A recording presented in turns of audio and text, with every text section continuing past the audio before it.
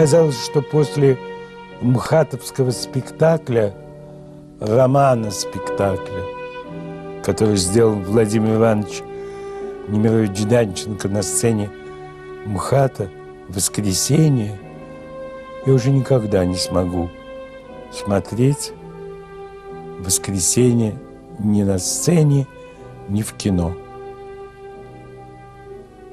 Но когда вышел фильм двухсерийный Михаила Швейцера «Воскресенье», то не только я один, а многие были ошеломлены талантом молодой актрисы Тамары Семиной, которая играла Катюшу Масло. Поражаешься тонким, почти незаметным внутренним переходом из одного состояния в другое. Ой, когда Катюшу Маслову э, играла, э, денег не хватало, чтобы поправиться. И мне самой, а для роли надо держать эти килограммы. А на что есть-то, есть-то не на что. А вот столечко, вот, потому что студентка. Северидов ко мне подходит, говорит мне, деточка, спасибо большое, я с вас писал музыку. Образ очень сложный. Ее первое появление в зале суда, когда оператор показывает Катюшу такой, какой она была когда-то, Катюшей девочкой, когда она встретилась с Нехлюдовым и полюбила его. С приездом вас, Дмитрий Иванович. Здравствуй. Здравствуйте. Живы-здоровы. Слава Богу. Вот тетушка прислала вам ваше любимое мыло. Розовое. У них свое. Поблагодарите тетушку. Как я рад, что приехал. Увидев Катюшу, Нехлюдов почувствовал прежнее чувство к ней. Он чувствовал, что влюблен.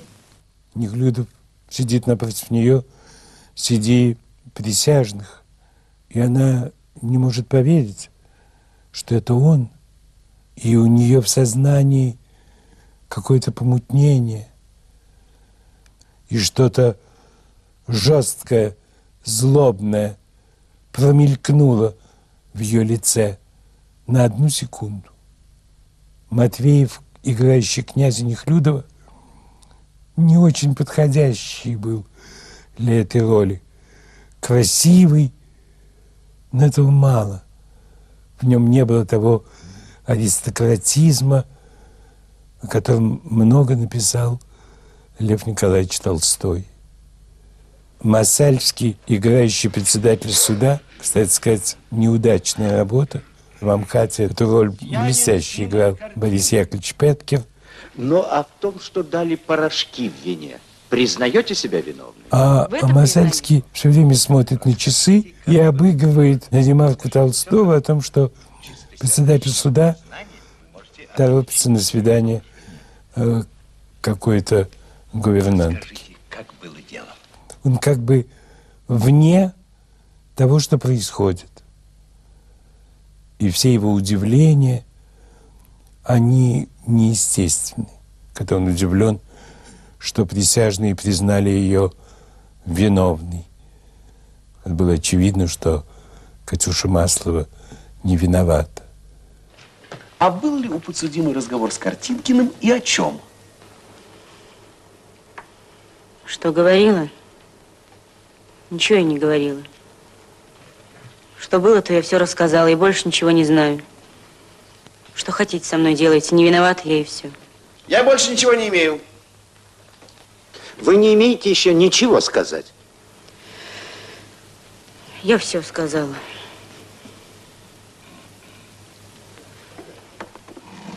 и она опускает голову.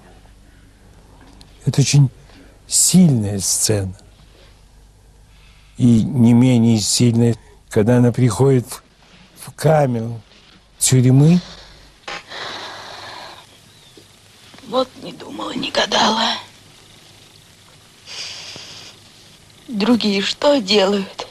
Ничего. А я ни за что страдать должна. Не тужи, девка. И в Сибири люди живут. А ты и там не пропадешь. Только бы не похудеть.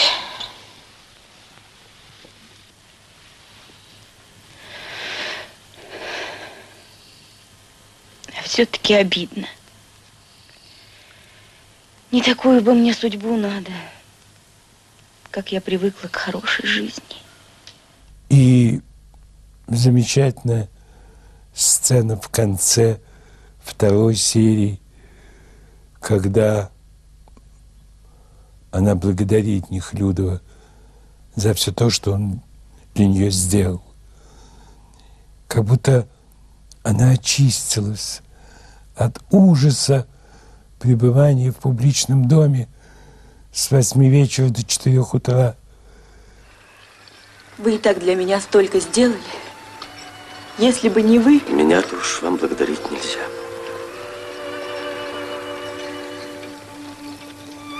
Что считаться? Наши счеты Бог сведет. Какая вы хорошая женщина. Я-то хорошая. Простите. Прощайте.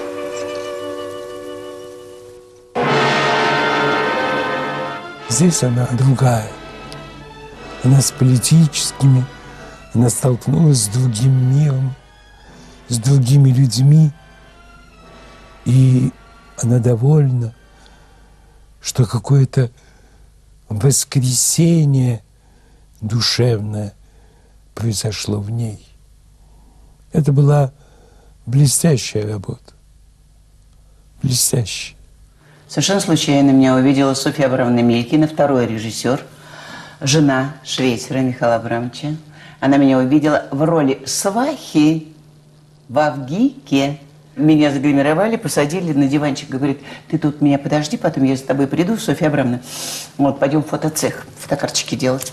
Я говорю, ладно, ладно, ладно. А тут сидит восемь актрис, восемь Катюш Масловых. Я на них смотрю. Ой, кто-то из них такая счастливая будет играть эту роль. А мне это не абсолютно.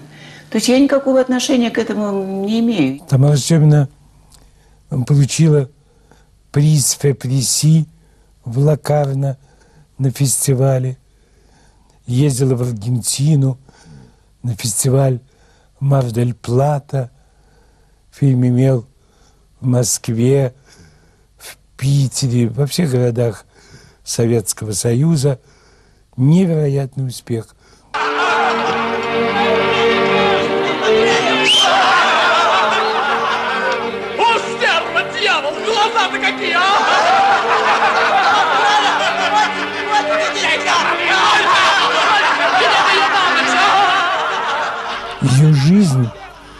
Казалось бы, не предопределяла, что она станет актрисой. Нет.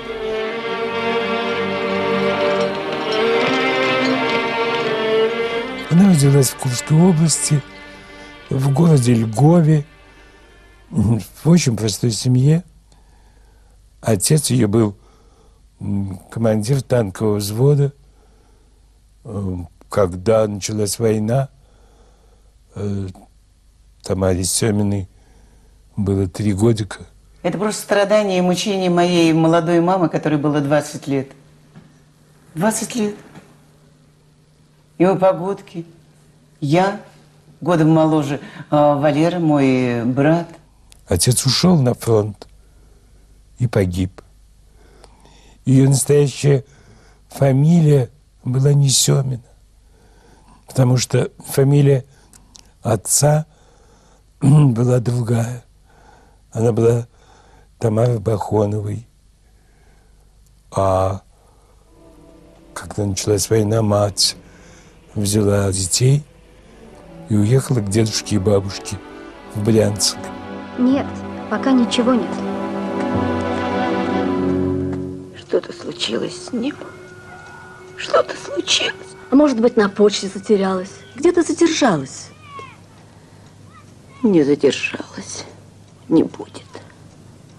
Что-то случилось. Анфиса, а Кирьян был хороший человек, да? Хороший. Да.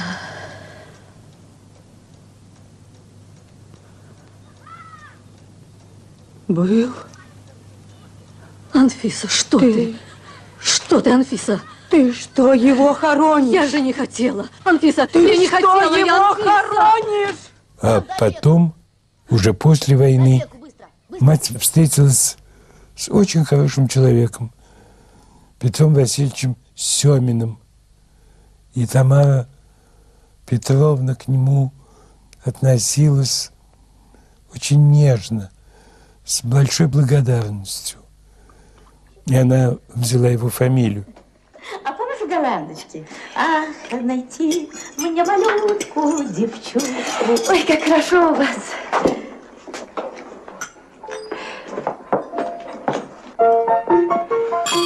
Вы, ради бога, извините, что так все.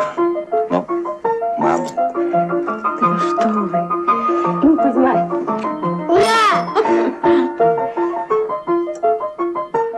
Семья там у тебя, на съемочной площадке. Наша огромная семья кинематографическая, наша огромная семья театральная, театральные коллективы, а, съемочные площадки. А, каждая картина – это отдельный такой островок, где собираются очень разные люди. И как-то у меня так сложилось по жизни, вот полно картин, разные коллективы, и всегда очень хороший народ собирался, очень хороший. Потом они переехали в Калугу, потому что там жила мать Петра Васильевича Семина. Там она поступила в школу, кончила 8 классов, поступила в школу рабочей молодежи номер два. И там ей преподавал литературу в Калуге Булата Куджава очень нежно относился к человеку и в эти головы вкладывал, говорит, знаете, ребят, сегодня тема такая-то, такая-то. Закрывал, значит, журналы, закрывал все эти самые учебники и говорил, давайте поговорим о жизни. И разговоры шли такого порядка. Начинал о сегодняшнем дне, как он встал, что он увидел – и переходил просто незаметно. Для нас мы сидели как завороженные. Переходил, как будто вот это его друзья живут на одной площадке или в одном доме, или на одной улице. Лермонтов, Достоевский, Толстой, Северянин, о котором в те годы вообще нельзя было вообще даже и упоминать. Да вы что? И он как-то рассказывал, как будто они в одном доме вообще живут. Близкие, родные, знакомые. О театре никогда не было разговора. А когда она кончила, она решила поступать в Калужский педагогический институт и сдала документы. Потом быстро забрала и сказала матери, что она едет в Москву. Выхожу один я на дорогу, сквозь туман кремнистый путь блестит. Ночь тиха, пустыня внемлет Богу, И звезда звездою говорит. В небесах торжественно и чудно Спит земля в сиянье голубом. Что же мне так больно и так трудно? Жду ли чего? Жалею ли о чем? Она приехала в Москву, Москву она не знала, села в троллейбус – и заснула от усталости. И доехала в троллейбусе до самого конца. Последняя остановка троллейбуса в ВДНХ. А рядом находился институт кинематографии. И она пришла туда. Сказала, что она хочет сдавать экзамены. Но экзамены уже кончились. И декан, который встретился ей в коридоре, посмотрев на эту явно незаурядную, странную немножко, с красивыми глазами, прелестную, неожиданную, экстравагантную девочку. Он сказал, ну ладно, пойдем, пока все еще не разошлись. И она предстала перед приемной комиссией. радостной встречи час. Ведь я хочу для вас. Пусть вам расскажет песня моя, скажет о том, как счастлива я. Сначала она решила петь. Вызвали аккомпаниатора. Пришел аккомпаниатор, сел, а смотрит на нее, она не поет. Второй смотрит на нее, она опять не поет. Наконец она ему сказала, вы знаете, вы не, не играете, вы мне только мешаете. Все расхохотались. Она была очень естественна и поразительно свободна. Потом сказали ей, что ну ладно, тогда ты что-нибудь прочти. Она сказала, что? И назвали стихотворение «Наш герб». Она сказала, это очень плохие стихи. Все стали смеяться. Так она как-то очень легко, свободно, разговаривая с комиссией, сдала экзамены и оказалась на первом курсе в ГИКа у Ольги Ивановны Пыжовой. У Ольги Ивановны был совершенно другой подход к набору курса. Она курс э, набирала по принципу небольшой театральной труппы, на которую можно разложить ту или иную пьесу, чтобы вот в этом материале э, драматургическом э, играли все, все на курсе. Ольга Ивановна Пыжова, знаменитая когда-то актриса Московского художественного театра, потом театра революции, прославившийся у Протазанова в фильме «Беспреданница», где она снималась в роли Агудаловой. Вот хотелось бы подарить эту вещь Ларисе к свадьбе. Мгм. Денег не хватает. Тетенька, я ведь тактику-то вашу помню. Ведь уж человек с трех. Она была блистательным педагогом, и она с большой нежностью относилась к Семиной. Семина себя почувствовала в институте, как рыба в воде. Вот на курсе я шла как а, остро эм, комедийная характерная актриса. Я же комедийная. На меня глядячи вообще все подыхали со смеху. На меня невозможно было на площадке смотреть. Все же говорят, ой, невозможно, ой, ой, ой, ой, ой, это Сема, ой, это Сема, это... Ее все называли Сема, потому что в ней что-то было мальчиковое. Понравился Маруське один с недавних пор. Нафабренные усики, расчесанный пробор. Он был монтером Ваней, но в духе парижан себе присвоил звание электротехник.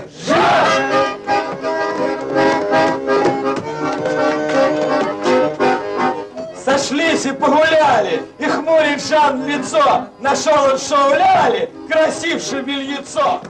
Я хлебом не корми, да прикидываться, да на голове постоять, да и что-нибудь повыеживаться, э, до неузнаваемости себя изменить. Толщинки надеть, и лицо туда-сюда, э, всякие такие роли. Это же, это же уму непостижимо.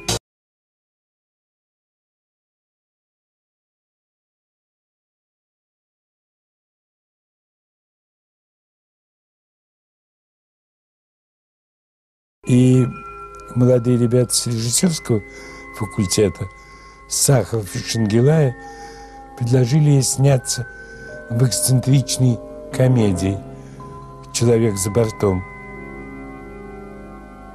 А потом ей повезло. Она познакомилась с очень талантливым режиссером Мавленом Хуциевым, который снимал фильм «Два Федора». Партнером ее был Шукшин. Василий Шукшин впервые снимался в кино. Роль была непростая. Роль о любви.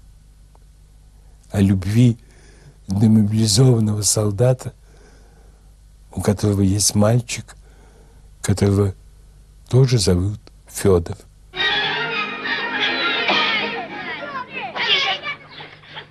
А ну полегче, барышня. Вот попадись, попадись мне еще. Ты что это размахалась? Тебя не спросили. Э.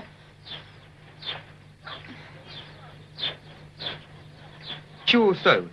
А что, запрещается? Молодая еще так смотреть-то. Подрасти надо мало. Сам больно стар и шусы отрастил. Таракан. Уйди. И она не знала, как с этим маленьким Федором найти контакт. А он ревновал ее. Он понимал, что отец влюблен.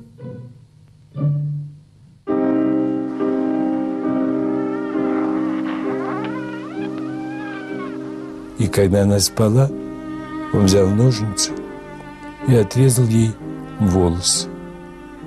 И она проснулась в ужасе, что он отрезал ее красивейшие волосы. И она горько плакала. Плакала, но при этом понимала, что с этим мальчиком ей надо как-то найти контакт. Федор. Федор, ты спишь? Зачем ты так? Спишь ты.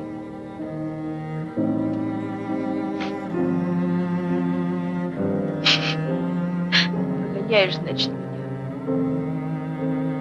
Хочешь, чтоб я ушла?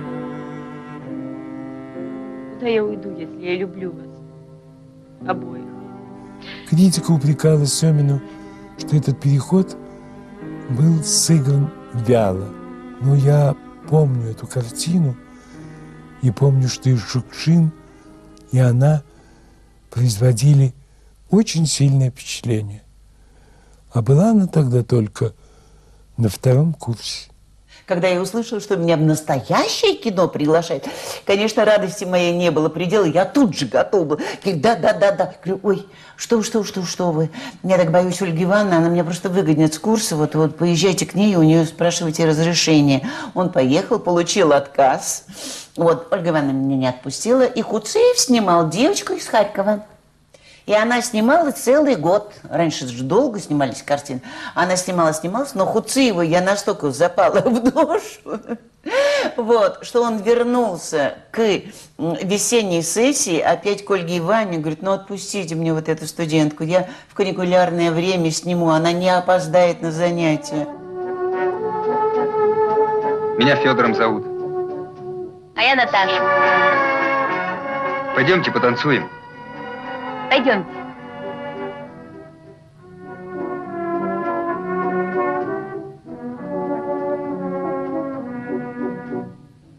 Разучился. Ничего, научите. Ну, вот так. Вот.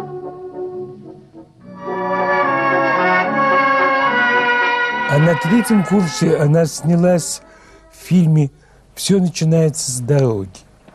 Счастья тебе и потомства. Надя, постарайся тройню родить, квартиру дадут. Умнел бы комик. Вы уж извините, Степан Иванович, что так вышло. На что ж сердиться, Надюша? Дело ответственное. Ты куда теперь? Мы с ним на курорт в Сочи. Я вам открытку оттуда пришлю. Ну ладно. А потом Михаил Швейцер пригласил ее сниматься в воскресенье в роли Катюши Масловой. Ух, шельма. Она была на последнем курсе. Это был ее диплом. И председатель комиссии дипломный, гениальная Вера Петровна Морецкая благодарила Семину за эту ослепительную работу. И вот Морецкая говорила, ну, если бы этой девочке, э, если бы можно было поставить восемь с половиной, я бы ей, конечно, и девять поставила. Но так как оценка у нас отличная, я ей ставлю отлично. Я очень была горда. После окончания в ГИКа, это был 61 год, она поступила в театр киноактера. Она сыграла там Катерину в «Грозе». И эта работа имела успех. О ней говорят, что она такая чудная, она ни на кого не похожа. А я просто говорила, Григорий Львович, она не чудная, она художник. Она в этом захолустье. Она необычный человек, потому что она мир видит. Вот никому не дано, а она видит его по-другому. Она потом ездила играть в Якутию Катерину. И там получила звание заслуженной артистки Якутской ССР. Так сложилось, что у Семиной началась великолепная жизнь киноактрисы. Как-то не хочется ее называть звездой. Она никогда не была звездой. Она была настоящей актрисой, художником. Талант ее был огромен. И это было неоспоримо когда она снималась в прекрасной ленте «День счастья» вместе с Баталовым и Зубковым. Муж. А я врач. Очень приятно, очень. Чрезвычайно. Познакомь меня со своим кавалером. Сан Николаевич, это мой муж. У нее была совсем непростая роль.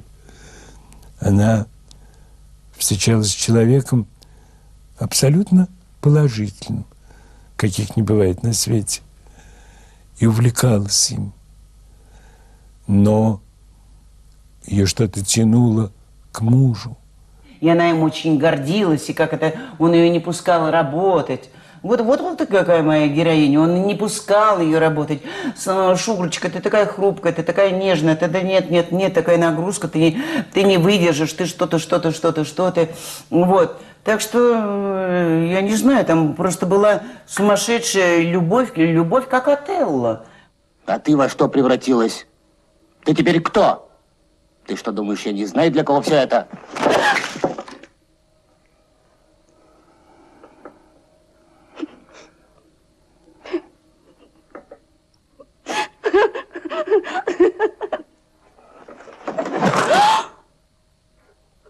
Шура, прости. Шура, что я поделал? Прости меня, Шурена. Ну, прости. Больно? Фильм был сложно построен и очень интересно сделан. И она его помнит по сегодняшний день, потому что его снимал замечательный кинорежиссер Йосиф Ефимович Хейфец.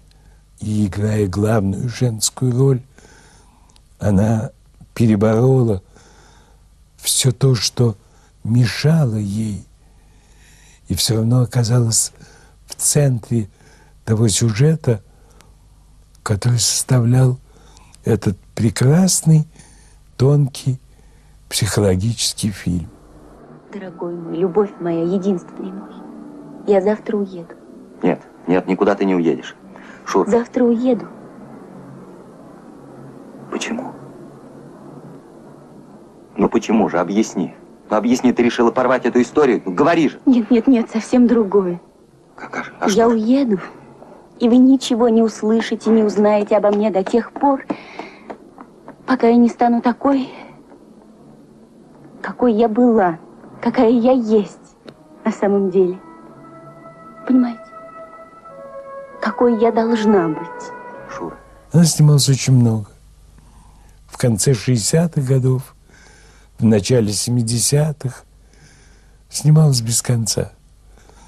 Сахаров ее снимал в «Чистых прудах», снималась в фильме «Коллеги». Даша? Да, Александр. Сейчас. Вы можете и на работе называть меня просто Саша. Очень даже охотно. Саша. А Швейцер, который, ну, как бы был ее кинематографическим отцом, он пригласил ее сниматься в фильм «Время вперед». И она сыграла неожиданную роль, потому что все, что она играла до этого, это были роли драматические, психологические, мелодраматические. А во времени вперед, играя Олю Трегубову, ей надо было сыграть эксцентрику. И оказалось, что она замечательная характерная актриса. Замечательная. И она играла очень остро, прямо на грани, и очень смешно, и очень заразительно. Товарищ, будьте сознательны. Ну раз дисциплинка, так дисциплиночка. Сказано так сказано, по-большевистски, ясно, Загиров, а? Надо, Оля. Саенко.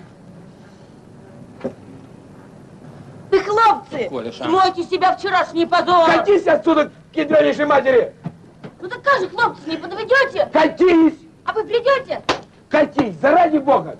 Я надеюсь на вас. Она признается, что она очень любит играть эксцентрику.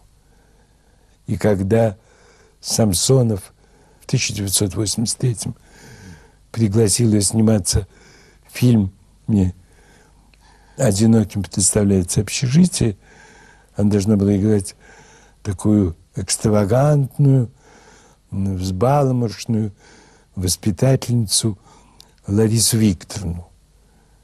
И она пошла на это и сыграла ее очень хорошо. Можно один вопросик, Лариса Евгеньевна? Да? Скажите, а откуда берутся воспитатели в общежитиях? На них где-нибудь учат? Ну нет, ну что вы. Этому не научишь. Это призвание. Но таких ролей у нее было не очень много. В 1978-м она снялась в нашумевшем детективе «Трактир на Пятницкой». Если Серого повяжет, он меня выдаст. Ну, меня ведь только за скупку краденого возьмут. Сошлюсь, мол, наследственность проклята, отец варьем путался. А без тебя, Ваня, я в тюрьме и дня не проживу. Да не заговаривайся. Думаешь, я не вспомню, что ты у батьки-то махно была? Или запамятовала? Я у батьки в обозе для потихи была. Помнишь, как нас пьяный поп венчал? Ты лихой был, храбрый. Помнишь? У нее вообще есть удивительное качество. Она ничего не боится на экране. Она очень внутренне легка, свободна. Она погружается в стихию образа. Дим, а я твоего отца вот в такие годы, как ты, помню. Ты все больше на него становишься похож. Взгляд такой же. Она еще прославилась в знаменитом телесериале «Вечный зов». Этот сериал Краснопольского и Ускова, который имел колоссальный успех. В нем она играла Анфису, женщину, которая познала любовь, страсти, предательство. Это была очень сильная роль. И люди смотрели эту Анфису бесконечное количество раз. Знаешь, Анфиса, ты не гляди, что я не шибко видный снаружи. Я внутри красивший. Ты мне всегда глянуться будешь, всю жизнь мою. Я тебя замуж хочу. А мне почему-то парень постарше все глянутся. А дружок твой, Федька Савельев, так пуще других. Только я сильнее всех боюсь его. Он усами пошевелит, а у меня аж мороз по коже. Зачем он усы, как настоящий мужик, отрастил? Ты скажи, страхолюдит они его. Успех она в первую половину своей жизни знала сполна. Она получила в 1978 году звание народной артистки РСФСР. Сегодня я смотрю на экран и вижу, что Тамара Семина снимается в рекламе. Она это делает легко, а мне очень больно. Я уважаю ее за то, что она пошла на это, потому что ей нужно жить 15 лет. Болел ее муж Владимир Прокофьев. Он никогда не снимался в кино и был мастер дубляжа. Она вышла замуж на втором курсе. Я даже не знаю, кто в мире кино был замужем один раз. И была очень счастлива. Она прожила с ним всю жизнь. Ты свет мой. Я в неволю тебя верну. А что мне воля без тебя? Ведь ты ж из-за меня неволи не устрашился. Ну, бить будут, надругаются. Зато вместе. Милый ты мой, пусть и в темнице мы, а мне не горько. Верится мне, придет время, и будем мы вольными и счастливыми. Он умер несколько лет тому назад. Ей нужно было думать прежде всего о нем, а потом уже о себе. Что такое смерть? Один мудрец сказал, я не знаю, что такое смерть, потому что понятия не имею, что за штука жизнь. И вы не знаете? Я даже не мудрец. А она все время ездила, ездила на концерты, приезжала, уезжала. У нее был такой жесткий график. Потом Советский Союз распался, и она как-то наивно сказала мне, вы знаете, я должна была стать народной артисткой Советского Союза, но не стала. Я не успела. Так я и не получила. Что мог я ей ответить? Я знаю, что такие несправедливости бывают очень часто.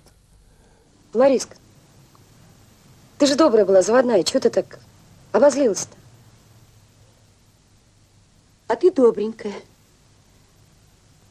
Ты добренькая. Тебе квартиру вместе со мной давали, а ты Жуковому уступила. Ну и что?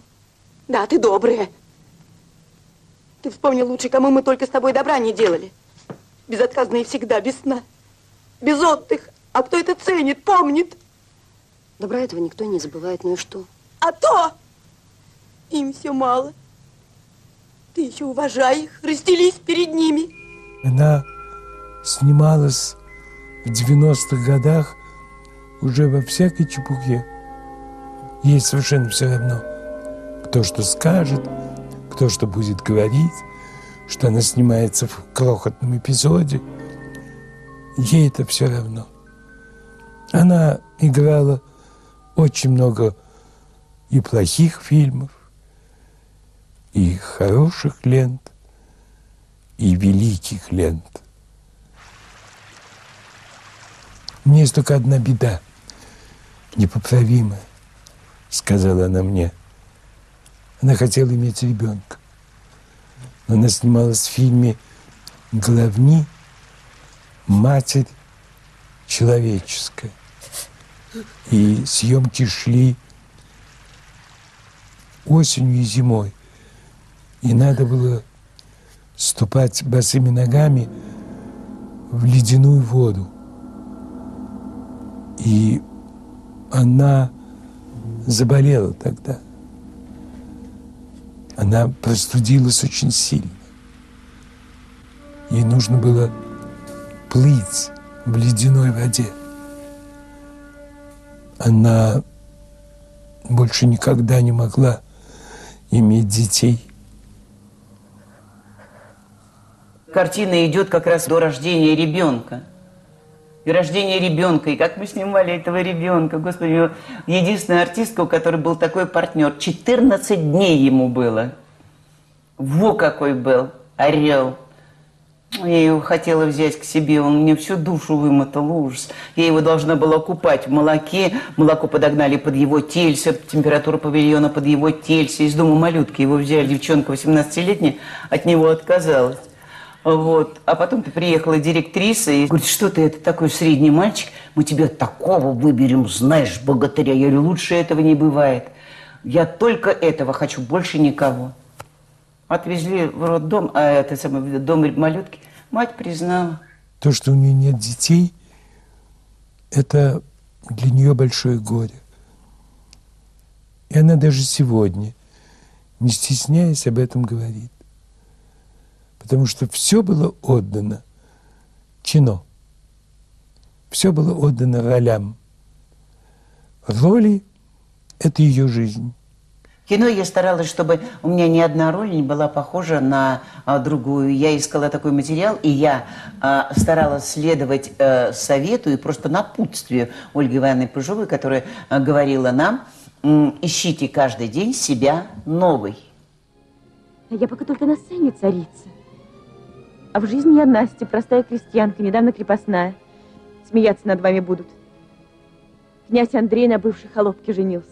Она ощущала себя, как будто она на небесах, потому что было такое огромное количество возможностей сыграть главное, что нужно человеку – любовь.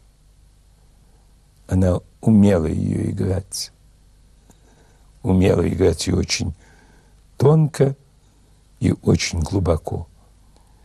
Потому ее помнят потому ее любят, потому ее фильмы, даже очень старые, с удовольствием можно смотреть сегодня. Дело не в количестве лент.